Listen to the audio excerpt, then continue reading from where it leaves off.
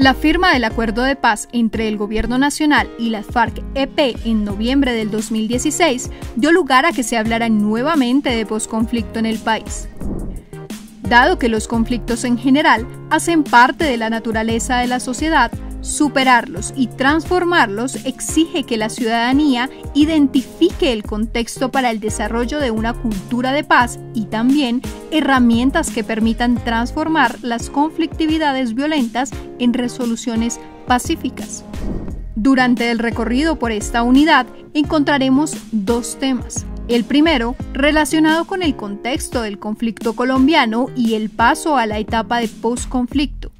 En el segundo tema se presentan los conceptos de paz, violencia y conflicto para la comprensión de la cultura de paz, así como el conocimiento de algunas herramientas que le permitan proponer acciones con el propósito de fomentar y fortalecer la convivencia pacífica en su comunidad.